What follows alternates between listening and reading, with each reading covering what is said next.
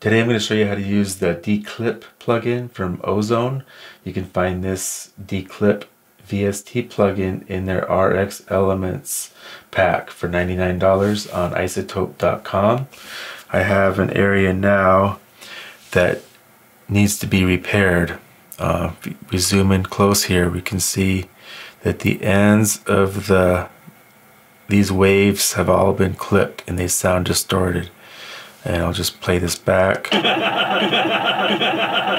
I've got that looping.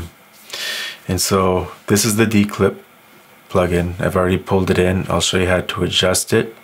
What you want to do is pull this down below the level of the clipped waves. This line right here would be somewhere down in here.